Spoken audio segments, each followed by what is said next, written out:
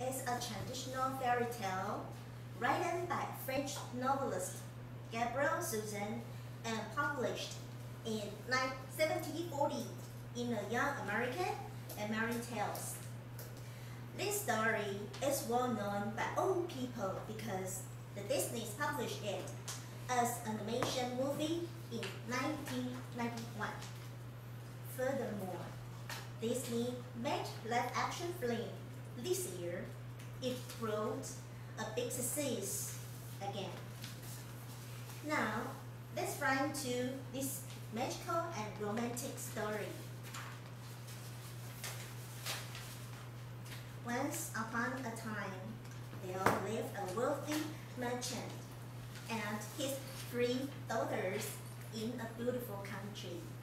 One day, the father was going to a big city for business and he asked his daughters, Do you want anything on my return? The first and the second daughter said, Yes, father, we would like to have beautiful clothes and jewelry. Okay. They want to dress up because they want to join the parties, because they want to attract Prince Charming to get married. But third daughter, whose name is Beauty, she said, Oh father, all I need is a rose pumped by your hand. There's nothing much more important than you come back safely. So the merchants said, Okay, I promise I will bring your gifts back. Then he said goodbye to his lovely daughters. Several weeks passed. The merchant was on his way back. He had to cross through the deep forest because it is the shortest way to go home. It was dark and frightened. The merchant's tired and hungry because he had the long ride. He tried to find a place to rest. Then he searched. A big and huge castle is in front of him. So he just walked in and knocked. Nobody answered. He opened the door and up to the stairs. Oh, delicious food. He was so hungry. So he ate all the delicious food in front of the table. Then he's still trying to find anyone for asking for permission, but still there's no one to answer. He walked into a room and found there is a soft and fluffy bed. He went off to sleep. The next day, merchant still did not find anyone in the castle, and he walked out in the garden. He saw a beautiful rose bush in front of him. He just remembered. He bought the beautiful dresses. He bought the jewelry, but still not bring the rose back to his beauty. So he picked up one red rose in the bush. Suddenly, a ferocious looking beast sprang out from the bush and he was yelled, I gave you food and a bed to sleep. Now you're stealing my rose.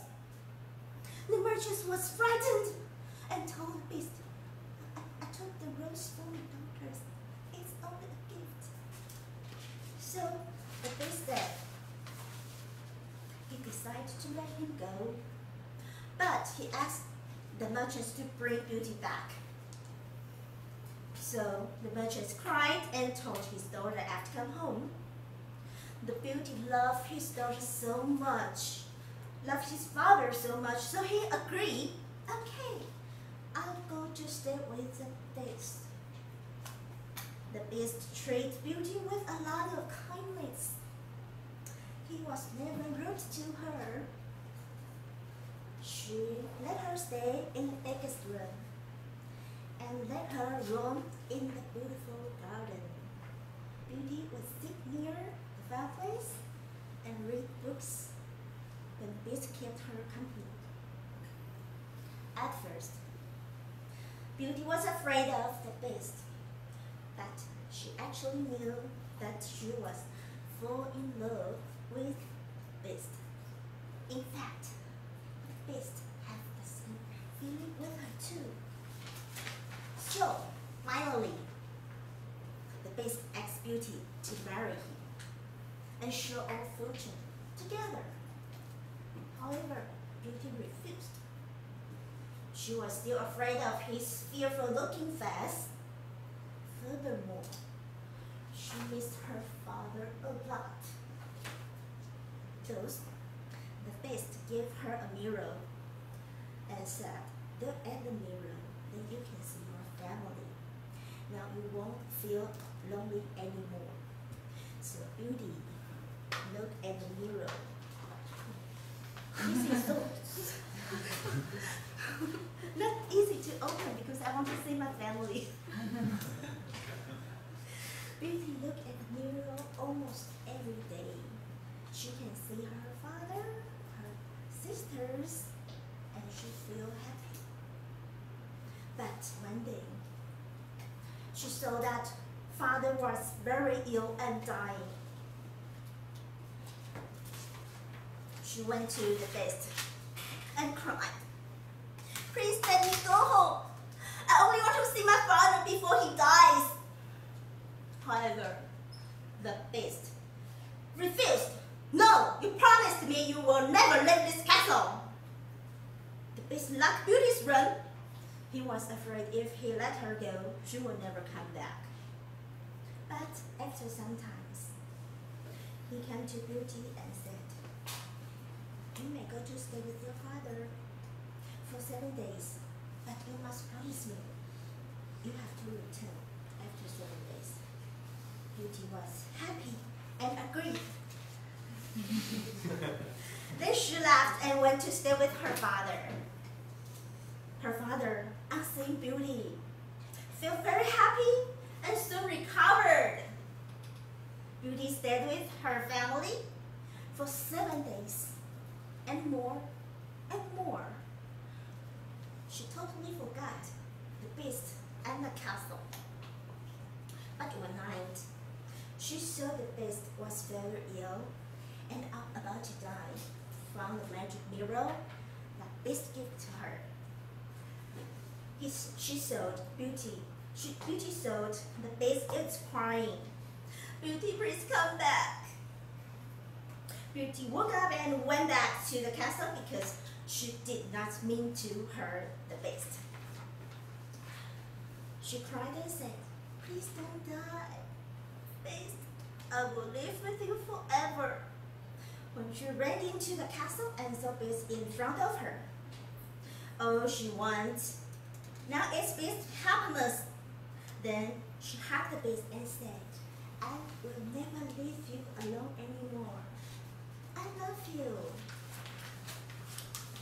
The beast and beauty kissed.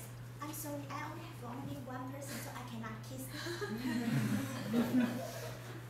they finally realized they love each other so deep. Nothing can separate them again. At the moment, the beast, miraculously changed into a handsome prince. So, there is a big secret of Beast, he said. I was under a curse all these years and could only be relieved when someone fell in love with me. I cannot tell anyone about this curse. All I can do is waiting for true love. I almost gave up when you went home and did not keep your promise to come back. I'm now cured of the curse because you truly love me. Then Beauty and the Beast was married, of course. They lived together happily ever and forever.